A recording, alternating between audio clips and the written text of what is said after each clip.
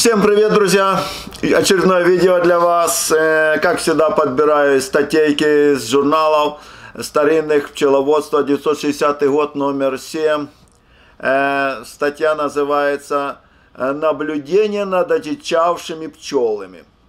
Ну, сейчас послушаем. Это пчелы, которые находились в дупле.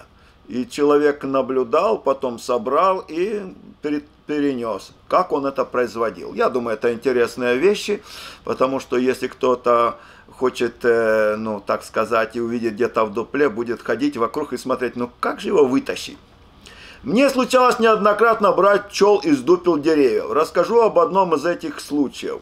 Липа, в дупле которой жила семья пчел, имела в диаметре около 60 сантиметров а диаметр дупла был от 33 до 37 сантиметров. Высота дубла составляла 3,5 метра.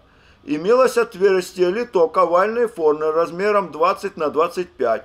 Он находился ближе к верхней части гнезда, на высоте около 2,5 метра от основания дупла с северо-восточной стороны. Высота сотов, расположенных на холодный занос, превышала 100 сантиметров.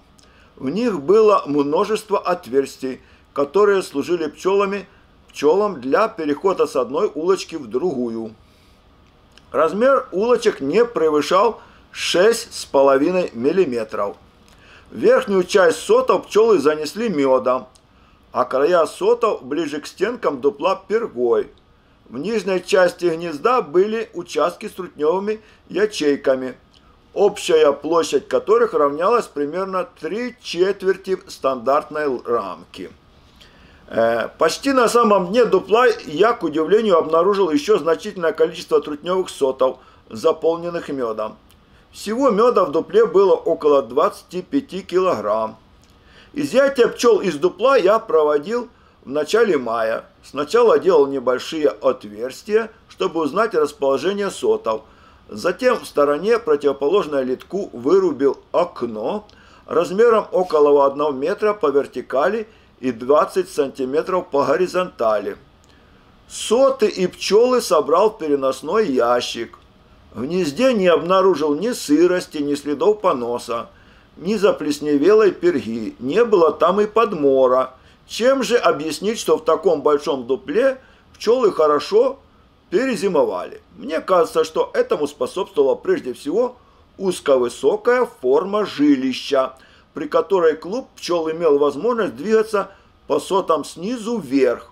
В холодное зимнее время литковое отверстие закрывалось инеем, и воздухообмен происходил за счет пустой нижней части дупла, куда оседал холодный воздух, насыщенный парами. Перенасыщение воздуха влагой не происходило – по-видимому, потому что древесная труха, которая находилась на дне дупла, а также сгнившие его стенки поглощали ее. Таким образом, влага была удалена от клуба пчел и не оказывала существенного влияния на его зимовку. Пчелы, взятые из дупла, отличались большой злобливостью, а также враждебностью по отношению к чужим маткам. Две попытки подсадить в эту семью молодых плодных маток оказались безуспешными. Тогда мне без труда удалось поменять маток в четырех других семьях пасеки. То есть он свободно в других поменял, а в этой семье не мог. А, а в то же время, по той же методике, очень хорошо эти пчелы защищали свое гнездо от чужих пчел. Ну, это город Нарва, Эстонская ССР, в то время писал в 60-й год. Итак, друзья, вот такая вот информация, интересная при ловле или, так сказать, при вытаскивании с дупла пчел и бывших раев. Итак, хочу еще одну интересную статейку прочитать. Она будет небольшая, но весьма интересная, вам понравится. Потому что все пчелы откуда-то берут мед. У кого-то э, местность позволяет, медоносная база позволяет, а у кого-то, ну, очень бедная. Ну и желательно что-то посеять или посадить, чтобы в дальнейшем в вашей местности или хотя бы на вашем участке росли медоносные растения. Вот э, э, агроном Вязов, Никитский ботанический сад, город Ялта, Крым. С Крыма в то время описывает э, такое медоносное растение. Весьма хорошее, интересное, до поздней осени цветет. Прутняк – медоносное растение называется. Прутняк или перечное дерево – интересный и своеобразный древовидный кустарник, заросли которого широко распространены в Крыму. Плоды и листья его обладают пряным вкусом и перечным ароматом, а цветы чрезвычайно охотно посещаются пчелами.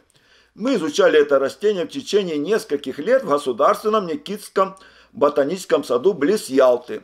Наряду с медоносными, декоративными, пряными и поделочными качествами пряник явля... прутняк является лекарственным растением – Листья его с древних времен употреблялись греками как возбуждающее средство. Плоды, по литературным данным, действуют успокаивающе. Тинктура из зрелых плодов прутняка с 60% спиртом применяется гомеопатии. Плоды и листья используются в народной медицине в качестве средства против малярии. Прутняк обыкновенный, кустарник, до 4 метров, реже дерева более 6 метров высоты, из семейства вербеновых. Его прутевидные тупочетырехгранные, сильно пахучие ветви имеют беловойлочное опушение. Листья супротивные, пальчатосложные, без прилистников, длинночерешчатые. Плод – маленькая сухая шаровидная притупленная костянка. Вес тысячи штук плодов равен 7 грамм. Очень маленький плод. На южном берегу Крыма прутняк цветет с середины июля до сентября. Что интересно, отмечайте, это позднее цветущее растение. С середины июля до середины сентября. Весьма хорошее. Э, плоды начинают созревать в конце августа. На соцветии под ярусами можно одновременно видеть отцветшие и распустившие цветки и бутоны. Основной сбор зрелых плодов приурочен ко второй половине октября. Плодоношение ежегодное, обильное. Но если плодоношение, плодоношение ежегодное обильное, то и цветение ежегодное и обильное.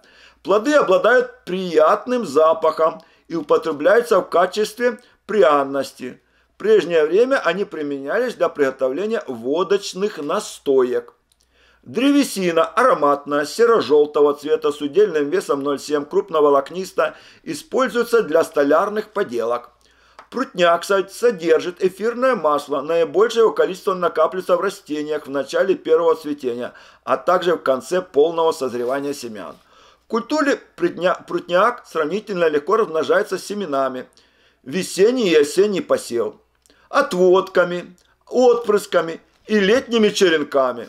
Что интересно, друзья, проживающие на Украине, рядом с Крымом, кто посещает Крым, можно достать такие, так сказать, э, такое растение и посадить на своей территории. При введении его в культуру следует иметь в виду, что он может давать удовлетворительные результаты на землях, неприходных для возделывания других культур. А именно, плантацию можно закладывать по склонам для закрепления оползней. Благодаря своей соленовыносливости и высокой декоративности прутняк может употребляться для озеленения даже морских пляжей в качестве живой изгороди или для одиночной и групповой посадки. То есть, если у вас почва где-то солончаковая, то и там он может расти, ну, что очень важно, э, как обычно, такие почвы не застраиваются, не засеиваются, и они пустуют. Наконец, ветви прутняка могут быть использованы для плетения корзины и легкой садовой мебели. Это ценное растение нужно шире культивировать, также использовать его многочисленные декоративные заросли. Как я уже отметил, сейчас я вам покажу э, это растение, как оно выглядит. Тут есть фотография.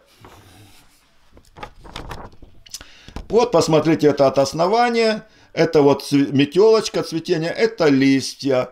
Ну, приблизительно оно похоже, похоже на коноплю. Но это растение не конопля, а кустарник. То есть такими листочками, как говорится. Еще одна небольшая статейка, друзья.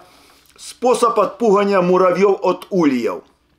Я имею небольшую приусадебную пасеку, и несмотря на наличие поблизости к ней муравьиных гнезд, их обитатели ни в ульи, ни под верхние утеплительные подушки уже много лет не заходят.